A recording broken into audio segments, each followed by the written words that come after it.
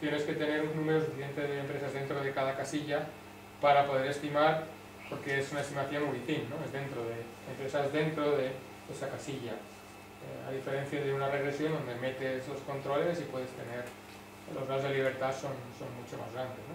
Entonces aquí tenemos, debido a la monstruosidad del tamaño, podemos hacer casillas de 14, 14, 2 a la 14.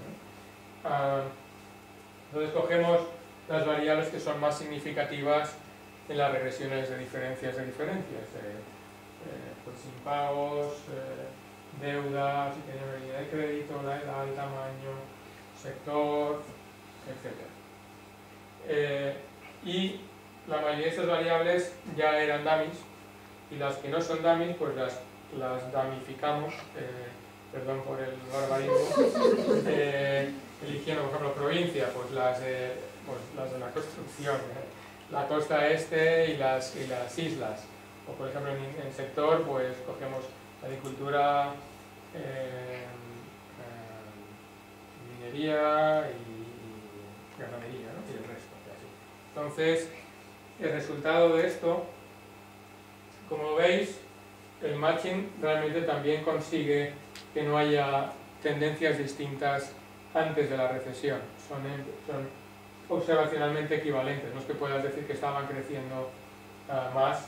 Un, esos son tendencias condicionales. Mientras que después sí que se ve, que las que trabajan con bancos débiles eh, el empleo cae, cae, más y en términos uh, de la regresión con todos estos regresores, pues el efecto se reduce a la mitad. Eh, es decir, esta técnica que realmente es, está pensada para minimizar los efectos de la selección, de forma que sean empresas muy, muy, muy homogéneas, pues sí que parece que se, seguía habiendo efectos de selección en, la estimación de diferencias de diferencias. Es un 3%, ese 3 puntos porcentuales, en términos de empleo agregado pues sería un 8%. Es decir, entre el 8 y el 36 tenemos un rango muy, muy grande, pero ya depende de qué supuestos de identificación esté uno dispuesto a aceptar. Despreciable no es, pero uh, bueno, pues es, eh, no es tan grande. Y aquí están las estimaciones por separado para las de un banco y las demás de un banco. Aquí ya sí que se ve que las que trabajaban con un banco, una vez que uno hace el matching, no estaban mejor, simplemente estaban igual. Es decir, en este caso los que trabajaban con un banco, el que el banco fuera débil no las perjudicó, pero tampoco las, las benefició mientras que las que trabajaban con más de un banco, pues el efecto es, depende del grado de exposición, pero es, digamos, entre el 4 y el 6, digamos, alrededor del 5%, 5 puntos porcentuales, mejor dicho, de caída del empleo. Y ya está. Me pasa un poco el tiempo, pero bueno. Espero que no me pongas multa. Teniendo en cuenta el boicot inicial, estoy bien. Bueno, pues eh, yo creo que un aplauso para, para Samuel. Bueno, pues muchas gracias y ahora ya sí tenemos, eh, abrimos la veda de las preguntas. Seguramente hay muchas, eh, algunos de vosotros os habéis reprimido durante la exposición para no preguntar, la amenaza vice de canal. Así que, bueno, pues abrimos el siglo de preguntas y así que, ¿quiere, ¿quién quiere empezar? Yo, quería hacerte una pregunta sobre una posible conclusión que a mí mismo no me he enterado yo. Yo creo que veo una perversión de la central de riesgos del Banco de España y es la siguiente, pero lo mismo no me he enterado. Es realmente el efecto de, tener eh, contraído mucho crédito por un banco débil era no hacerlo, o sea, el problema era tener varios bancos, ¿no? porque el efecto, básicamente, lo que tú nos has venido a decir es que el efecto era importante cuando se tenían muchos bancos, además del banco débil, pues o trabajabas con un segundo, y, pero cuando estabas solo, eras el único cliente de ese banco débil, eh, no había efecto, básicamente, claro, o el efecto era mucho menor.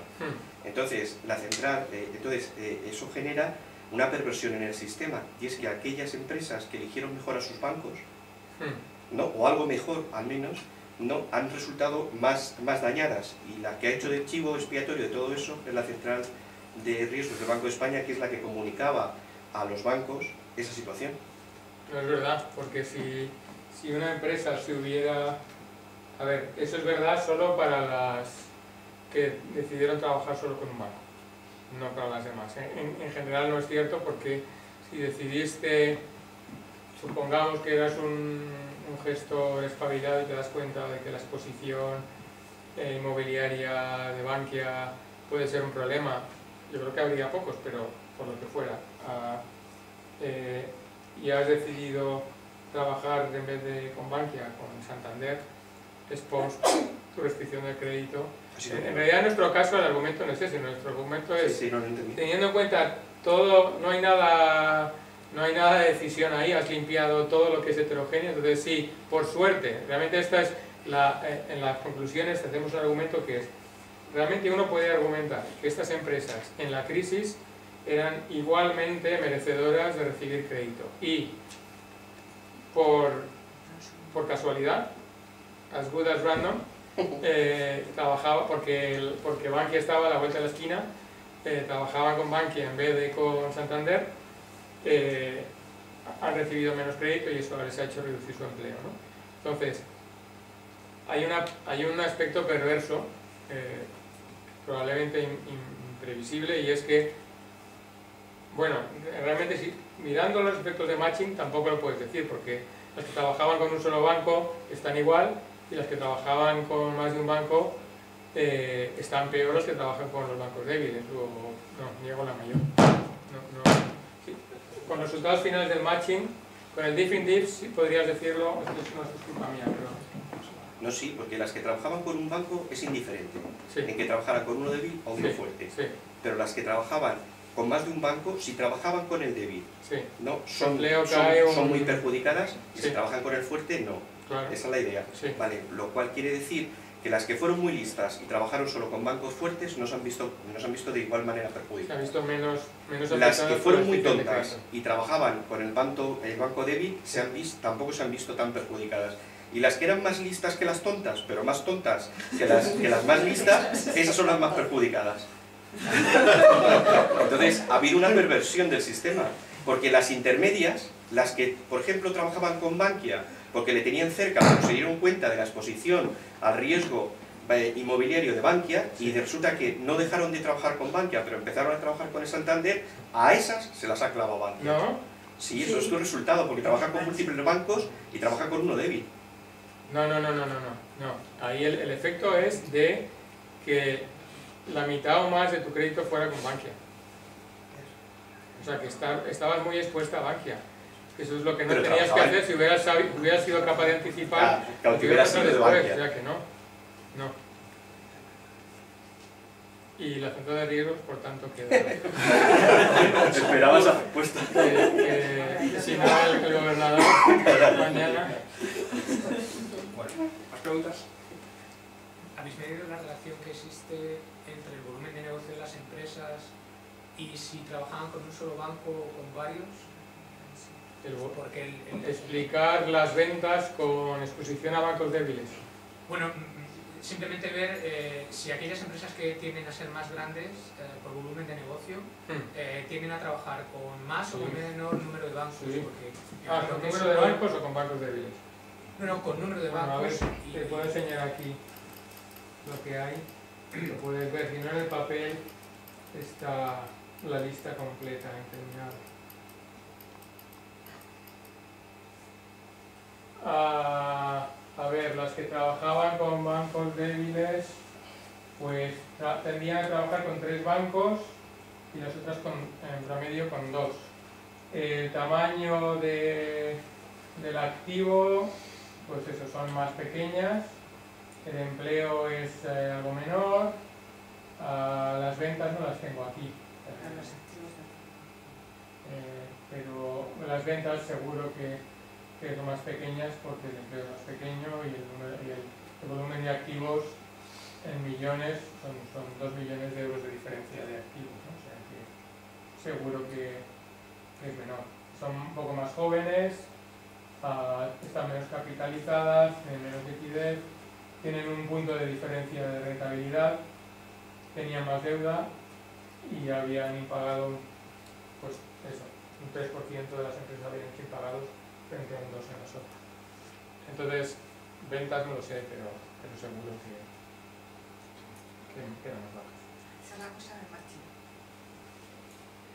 No son idénticas, pero hay una diferencia de unos cuantos cientos de empresas, porque las del matching, eh, pero cuando estimamos para, para el conjunto de empresas del matching eh, diferencias de diferencias, sale 6,3 en vez de 6,2, o sea que eso es prácticamente lo mismo, o sea que, sí, o sea que puedes decir que sí, que, son las mismas.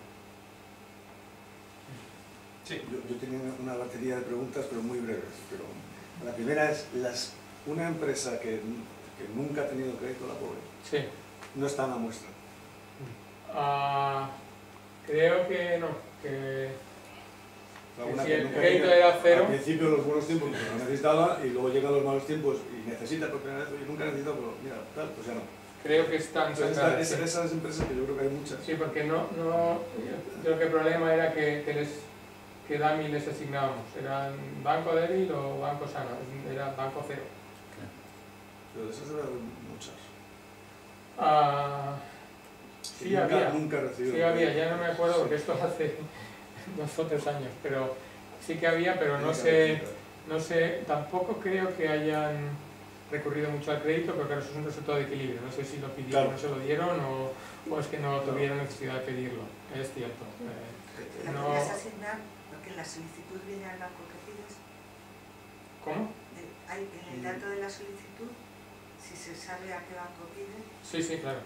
Pero- pero- No, pero la, ya- si en la expansión, si en la, si en la expansión no tenía crédito, Nunca tuvieron crédito, nunca están fuera de la muestra. a ver, pod- podríamos, yo no sé, Pero, por podríamos... ejemplo, Xavi tiene información del banco con el que trabajas. Porque muchas veces las empresas trabajan Bueno, con bancos, podríamos haber hecho una. No, dummy con ruido que fuera, le voy a imputar que si fuera a pedir crédito lo pediría con el banco con el que tuviera Claro, el mayor volumen, se podría hacer, sí, sí, es cierto. La otra, no he entendido por qué exactamente excluís aquellas que tienen un vínculo muy fuerte con el, por ejemplo, las industriales que tienen un vínculo muy fuerte con el inmobiliario, ¿por qué se excluyen? Si ahí está buena parte de la destrucción de empleo. O sea, las ventanas, procesos de las ventanas, las puertas.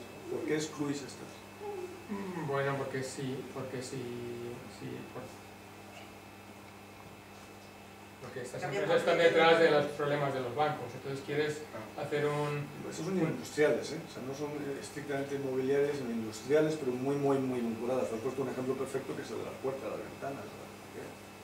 Claro, entonces, pero la, Pues la, la, industriales. la causal- la dirección de causalidad aquí sería eh, puertas cuesta, eh, se dejan de hacer casas, deja de, de producir puertas eh, y entonces eh, eh, reduce, el, em- eh, reduce el empleo o, quie- o- o quiebra, en todo caso empieza a hacer impago de sus créditos entonces no esta empresa, pero las empresas de ese sector en conjunto son responsables de que la morosidad de Bankia suba a tres puntos. Entonces, y eso, la subida de la morosidad reduce la solvencia de, de estas cajas y entonces hace que restrinjan su crédito. Entonces, es, realmente ha sido la morosidad de las empresas la que ha hecho al final que el crédito se reduzca. Entonces, queríamos limpiar esa línea de causalidad y quedarnos con las que son, entre comillas, inocentes de, de la crisis. las, las, De la, de las la... llamadas culpables son presuntamente culpables. Claro, quiere decir que muchas de ellas no serán culpables. Vale, pero nos O sea, curamos que todo esa. el, el tema es la. Nos dolió como si nos cortaran, tú sabes, por lo menos el meñique, porque es que la, la muestra pasa de 300.000 a 217.000. Claro, claro. O sea, es una reducción de muestra de casi un tercio, que es brutal. Y nos dolió y nos mirábamos. Entonces, tú crees que sí, pero ya cuando lo dijo Javier Suárez, ya mm, hay que hacerlo. Pero yo creo que, a ver, todos sabéis que ahora en la, en- en- para intentar publicar esos trabajos, dado toda la sospecha que tenía el trabajo empírico hasta hace muy poco, tenemos que ser ultra limpios. ¿no? Entonces, cualquier eh, traza de contaminación de la identificación del efecto te mata. Entonces, pues, bueno, podríamos hacerlo simplemente para ver números, pero de cara a estimar un efecto que sea creíble de shock de oferta de crédito exógeno a la empresa, eh, esto es lo más limpio que se nos ocurrió. Y luego tienes, tienes alguna historia para, más allá del tema empírico, pero lo del single bank. O sea, puede ser que sea que el single bank, claro, como está solo, pues puede hacer más. No sé si la palabra es trampas, ¿no? Pero puede hacer más. eh, no le está mirando, ¿sabes? La- eh, no le está mirando otro que tiene la información de la empresa, pues puede hacer. No sé si la palabra es trampa, no, no quiero utilizar esa palabra, pero sí que puede hacer más la vista gorda porque no hay otro rival. Y así Podría no, no queda ante la galería como un blandengue riesgoso, no sé qué tal, ¿no? Sino porque como nadie Bueno, que sal- salvando a la empresa, salvas a otro banco. También, o sea, claro, hay, hay una hay, una, hay un razonamiento que sí hemos hecho y es, eh, si la empresa va a liquidación, eh, entonces el valor residual de la empresa se reparte entre, entre varios, ¿no?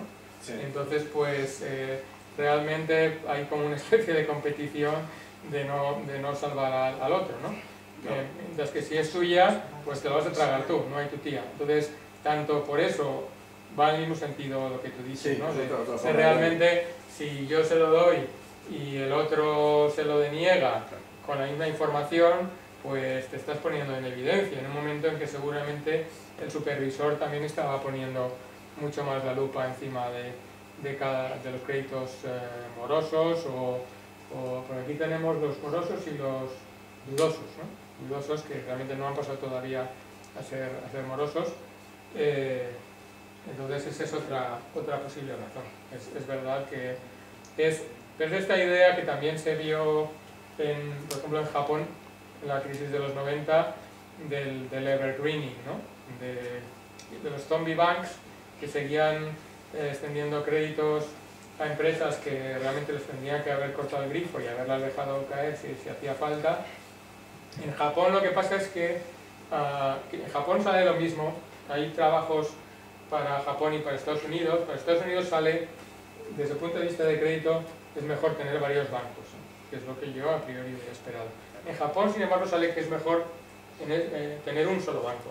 Pero en el caso de Japón, la gente lo explica en función de estos conglomerados industriales en los que los bancos, como Rumasa, ¿no? El banco estaba en el grupo y las empresas del grupo se financiaban créditos que los bancos de Rumasa les daban, pues otros bancos no se los daban, ¿no? Y en Japón estos grupos industriales, Keiretsu, como se llaman, pues eh, era lo mismo.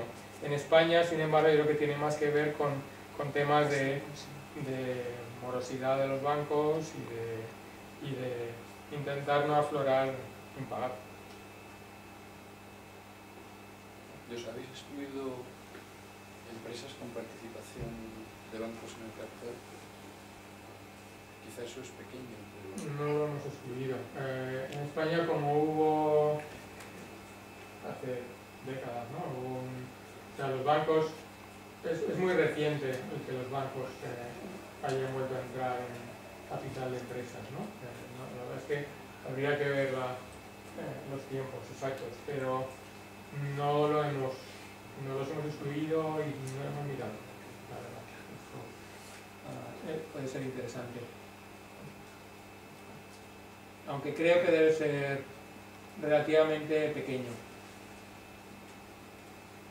Eh, en el caso español, solo en empresas muy grandes debe pasar eso. Es una muestra de 217.000 que es que el tamaño, el tamaño mediano, eh, vamos, el número de empleados, ¿no? Es eh, 20 25 en las de control y, y 19 en las, en las, en las otras, ¿no? Ah, hay un- algunas muy grandes, pero realmente la proporción del, en el número de empresas es pequeñísima. Entonces yo creo que eso no debe ser el problema, pero no lo, creo que no lo hemos mirado. O a lo mejor lo miramos muy al principio y no. Pero hay muchas empresas de servicios por esos tamaños, ¿no? Es- Pero aquí hay, aquí hay de todo, ¿eh? Aquí no es solo manufacturas, aquí, es Por eso digo, que debe haber más servicios que no financieras. Eh, pero servicios están, no es... Sí, que tiene que haber muchas más que manufacturas. Si, si usáramos la SE, que es lo que usa Luis Garicano, Luis Garicano sorprendentemente le sale con la SE con una estrategia de identificación distinta que es, eh, y con muchísima menos información financiera, ¿no? pero él dice, bueno, empresas eh, que, se- tienen participación de empresas extranjeras. en su capital. Y entonces esto quiere decir que uno puede presuponer que eh, pueden tener acceso a financiación extranjera, pues comparando en un periodo similar al nuestro, no me acuerdo exactamente de, de periodo, un periodo parecido, le sale 6 puntos. Casualidad, ¿no? Pero, eh, y esas son, pero esas son solo de manufacturas. Eh, pero, como bien sabes, en variables de tipo financiero la SE no, no tiene gran cosa. Ah, desde aquí pensamos que realmente las identificamos como más homogéneas. El año 11 y el año 12 no queréis. El año 11 no, no, ya no queremos. ah, en- en- en- en- a ver, yo 13 creo que se, a- se 13 agra- ya ni hablamos. no, se agravaría ah, Sí. literalmente. o Sí, sea, pero la- ¿Puedes poner, puedes la- poner otra vez el del crédito, el gráfico del crédito? Sí. Realmente los años jodidos, jodidos, pues de verdad. El de. El, Primero, el primero. primero de todo, ¿no? Sí.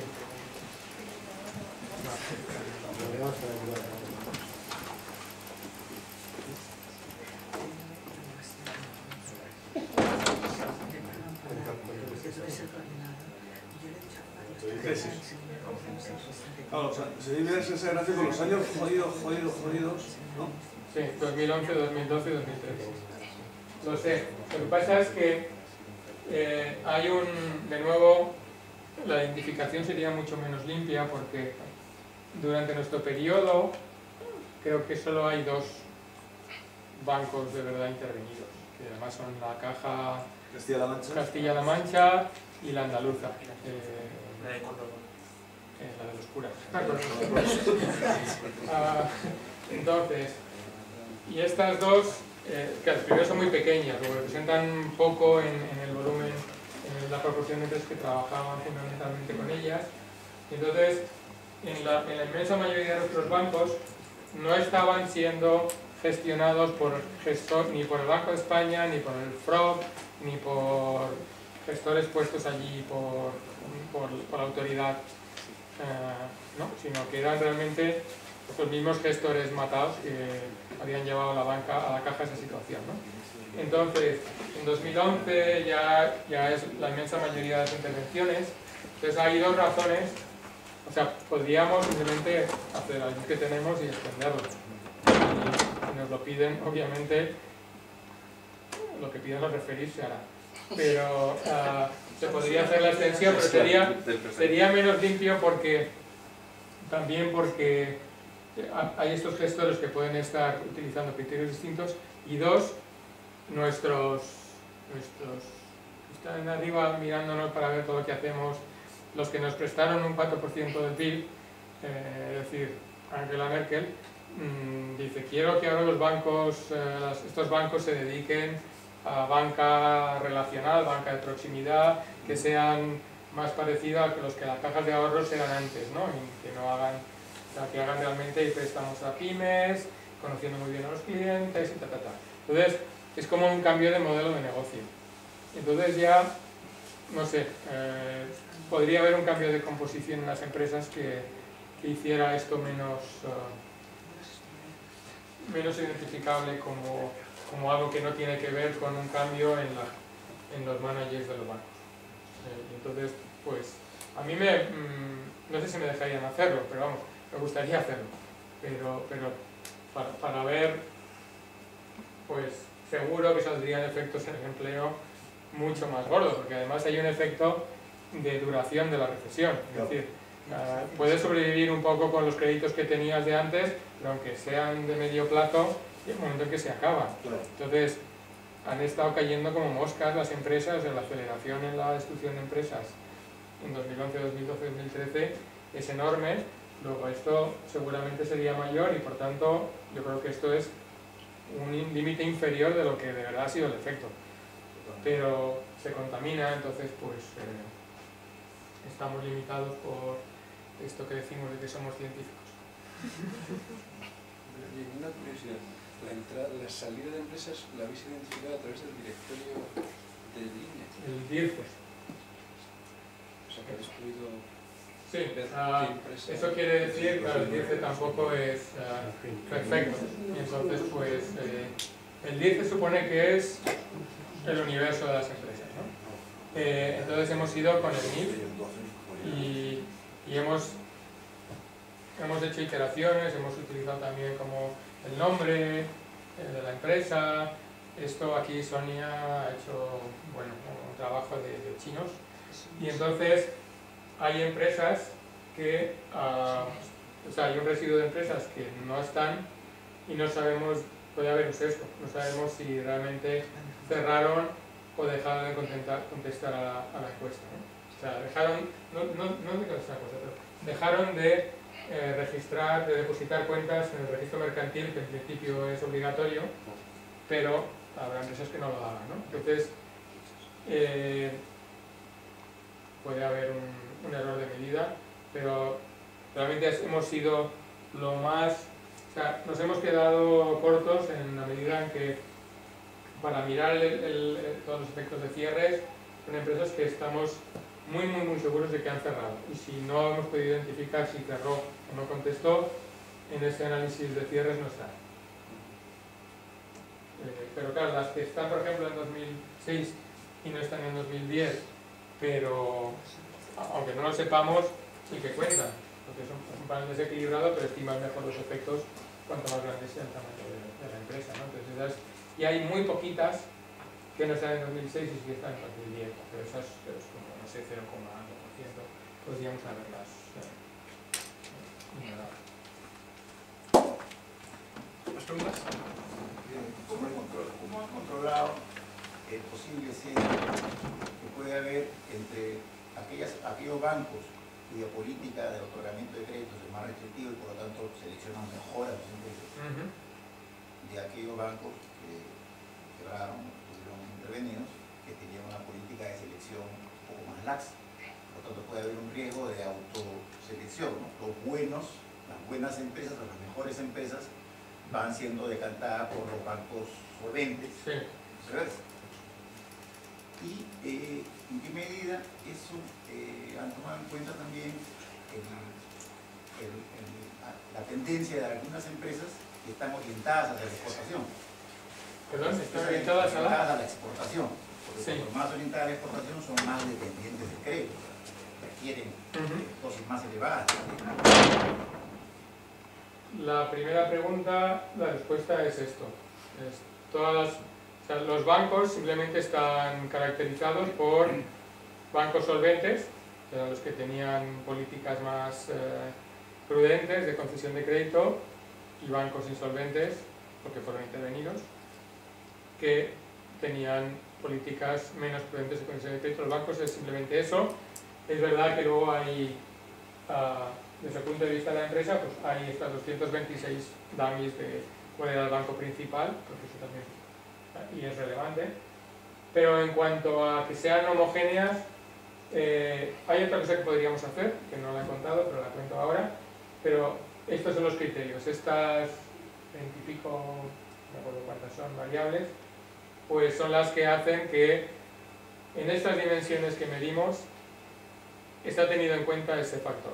Luego, el efecto que estimamos de trabajar con un banco débil está limpio de esa heterogeneidad. Eh, hicimos una cosa, mm, la hemos hecho, no está en el papel, pero lo he hecho después. Realmente esto está muy bien, es muy bonito, suena muy bien y para el matching es imprescindible, pero podríamos haber puesto un efecto fijo de empresa. Una, un, una dummy para 217.000 dummies, cada una tiene su efecto fijo y eso tiene en cuenta todo lo que sea distinto entre empresas. Lo hemos hecho, sigue saliendo 6,2. O sea que esta es, lo que está diciendo es que todas estas variables son suficientemente buenas para tener en cuenta todo lo que fuera distinto entre empresas en 2006. Eh, luego, ahí estoy tranquilo porque si metiendo 217.000 dummies eh, sale lo mismo, quiere decir que realmente con eso estoy captando lo mismo. Eh, y las exportadoras, pues en realidad esa dummy individual, y yo creo que también muchas de estas, que las, las exportadoras normalmente pues a lo mejor son más rentables, o esto tenido en cuenta, a lo mejor tienen más líneas de crédito, etcétera. Esto nos podría decir José Carlos. Eh, probablemente está tenido en cuenta, pero no hemos tenido en cuenta en particular ah, como una variable de, control en la regresión la propensión exportadora y podríamos hacerlo. Yo creo que dado este especificación alternativa con, con dummies de empresa que hemos hecho después, no cambiaría nada, pero podría valer la pena hacerlo. ¿Más preguntas? ¿Me ibas a hacer...? Sí, pero ya, ya está bien. ya hemos explotado a Samuel suficiente. Yo me quería más el 3% el matching que el, el resto. Bueno, el matching nos dejaría más tranquila, aunque a Garicano le salga un 6 en manufactura.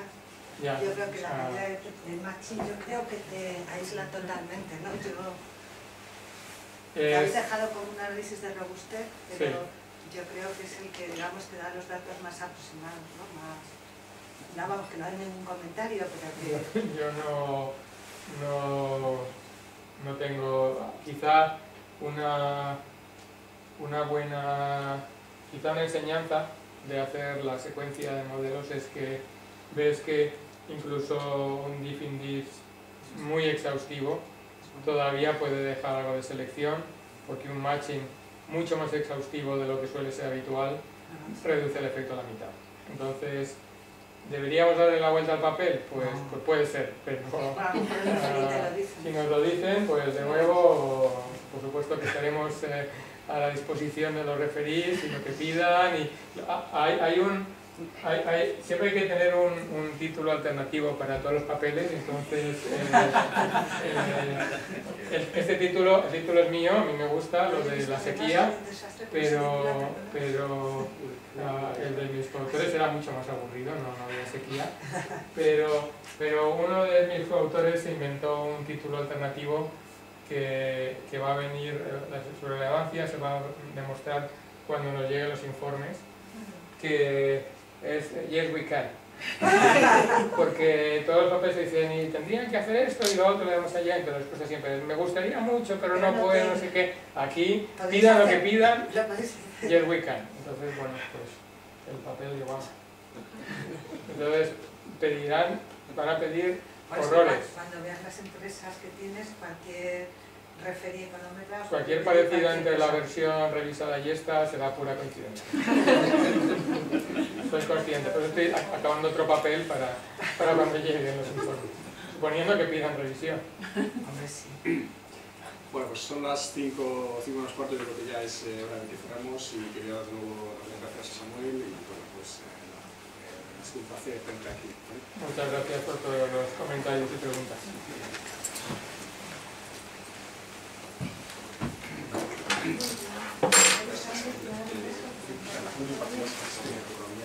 No, no, yo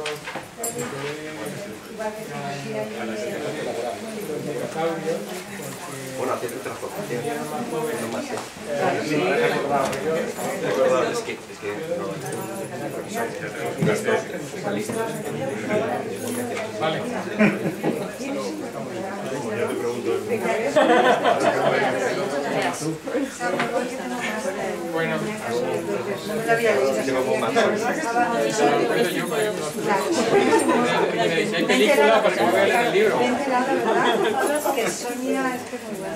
Bueno, No resto también. No, no lo discuto, pero el resto muy Los, tres son muy buenos.